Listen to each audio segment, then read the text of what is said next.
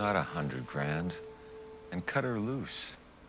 But we need her music. You're starting to act like the same jerk you were 15 years ago without the excuses. Do you remember They- a name of this of the person who? No, they had one girl available, so I booked her.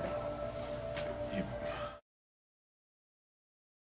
Please tone it the fuck down, please. We're gonna get out here and dirty dance too, Ricky.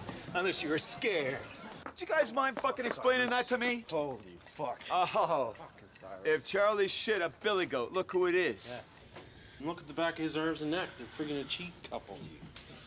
Congratulations. You both failed grade 10. Get out of my classroom. You gotta be kidding. me. Get out. It's not my fault. It's he, he made me do it.